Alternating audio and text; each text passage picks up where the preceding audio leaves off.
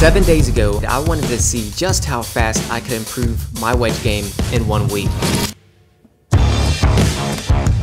just want to challenge myself. Uh, hmm, it's gonna be a long week.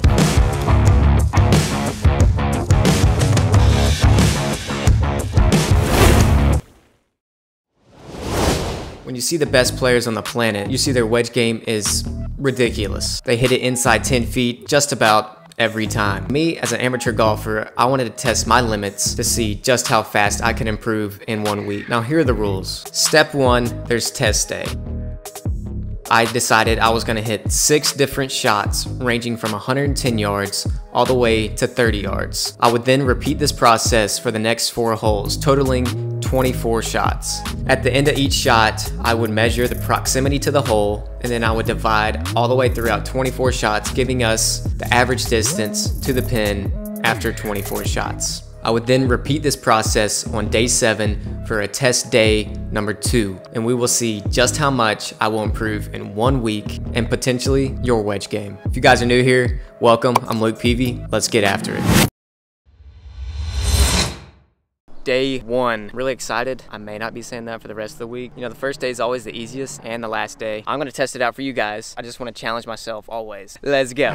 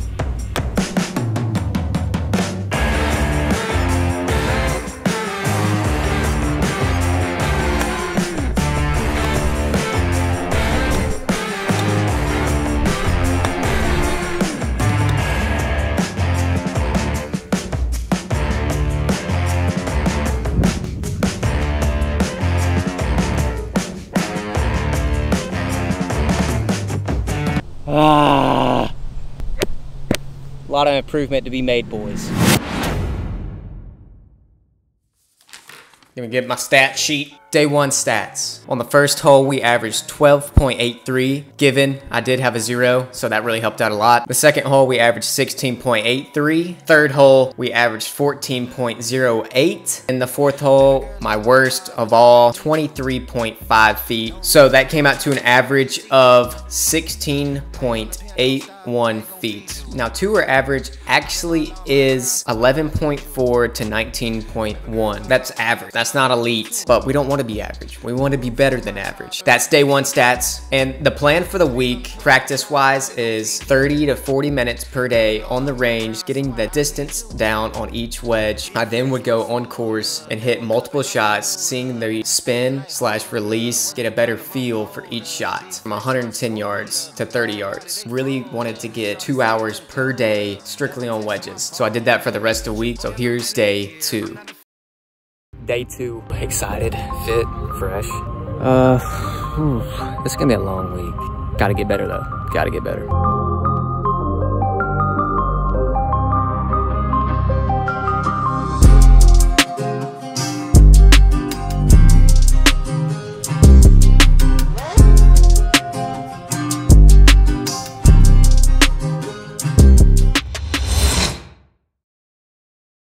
Day three.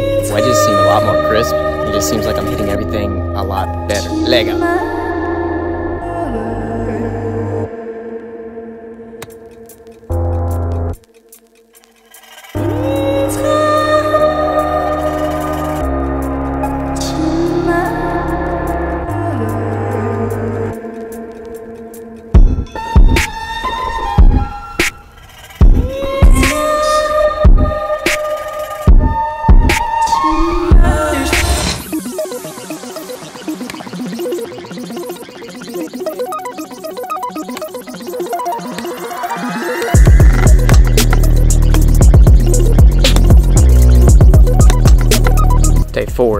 Today I have a little bit more time. Let's get to practicing.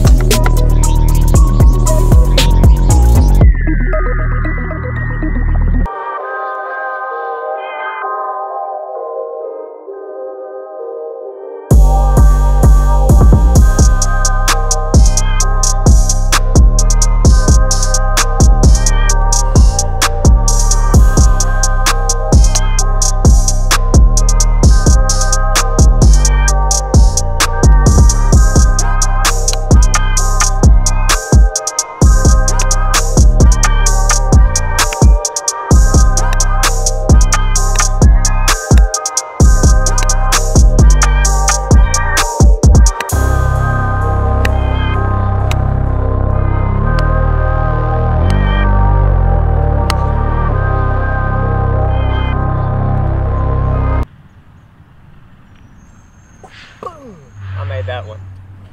Too bad it wasn't on video though, except for my reaction. We're getting grooved. Not sponsored by AirPods. Sponsored by Sandbagger. Day six. First day, I really don't want to be out here. Freaking freezing. The only thing keeping me alive are these bad boys. Thank God for my sandbagger beanie though. It was a must. Get on the range for about an hour and then go to the course, hit different shots for about an hour. Tomorrow's the day. Tomorrow's the final day. My wedges do feel good right now, so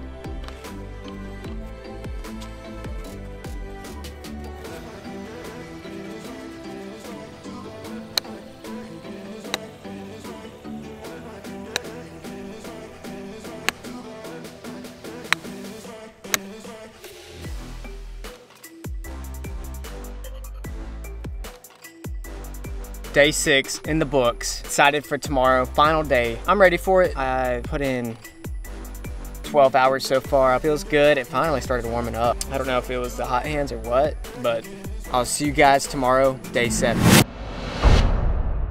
Day seven, and it's probably the coldest day of them all. Just get warmed up, kind of 30 minutes, and then I will do the test today. So let's get into it. Let's go.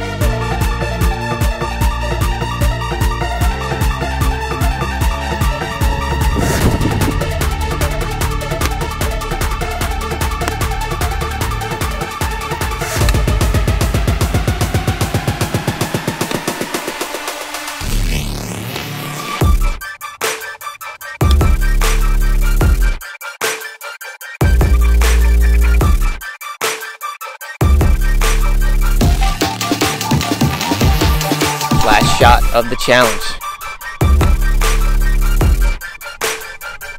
Test number two is over. Let's get into the numbers. First hole, 11.91 feet. The second hole, we averaged 16.91. The third hole, we averaged 11.75. And then lastly, we averaged 11.25 5. You can already probably tell that yes, indeed, little baby, we did improve. We went from 16.81 feet to day 7, 12.955 average. Absolutely huge. I couldn't imagine if I actually did this for the whole month. I encourage you guys to actually do this because 4 feet is a lot of distance in golf. Whether you're just a weekend warrior, a junior golfer, or a competitive player, anybody can use this. So I hope you guys enjoyed this video. If you did, leave a like. Road to 5K. Come on, let's go. Let's go.